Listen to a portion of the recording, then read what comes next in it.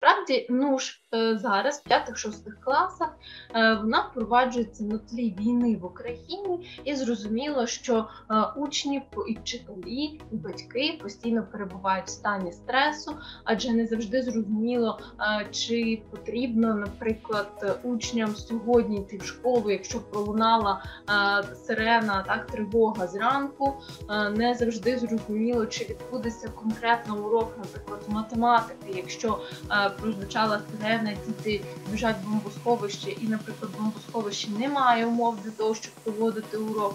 Крім того, е, ми знаємо, що всі учні так поділилися е, на декілька груп, які е, відбувають ну, які перебувають в школі очно, є ті учні, які приєднуються до уроків дистанційно, і відповідно тут є складності того, що сьогодні е, учень був в класі, завтра він може приєднуватися дистанційно. Післязавтра в нього взагалі немає можливості через вимкнення світла приєднатися навіть дистанційно, і того ось ця нестабільність, звісно, е, вона підтримує високий рівень стресу і у вчителів, і у батьків, і у учнів.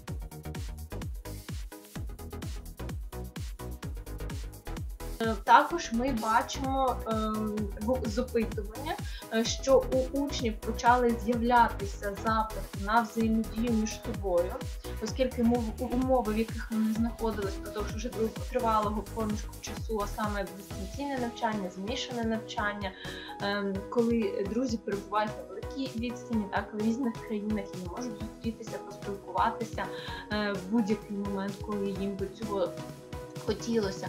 Відповідно, у учнів з'являється запит на взаємодію між собою, тобто на парні групові форми роботи на урок.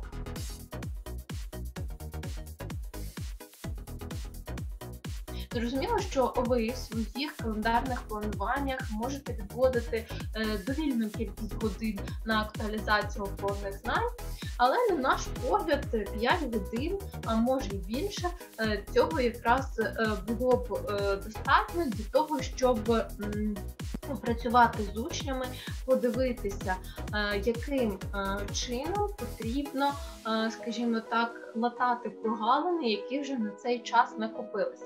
І крім того, дуже важливо е, розподілити, як буде опрацьовуватися матеріал. Адже якщо ви е, провели діагностувальну роботу, побачили, що 5 е, тем уч... більшість учнів, так, наприклад, все ж таки не засвоїла, відповідно, вам потрібно їх опрацювати, то тоді не обов'язково всі 5 тем ви маєте детально знову ж таки повторно пройти з учнями.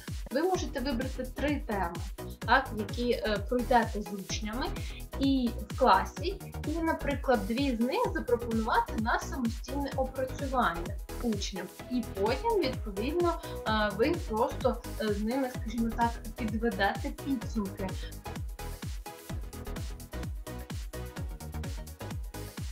Просимо учнів моделювати процеси, про які йде мова. Ну, наприклад, якщо ми говоримо про Е, цілі числа, ми можемо запропонувати учням змоделювати е, е, вираз і результат його відповідно за допомогою ось такого програмного забезпечення. Mass Learning Center – це безкоштовне програмне забезпечення, і учні на координатній прямій так показують. Звідки вони починали рухатися з числа 5, зробили 6 кроків вліво, того що нам потрібно відняти 6, і відповідно, вони опинились мінус 1. Е, Не забувайте про себе і тримайте освітній фронт.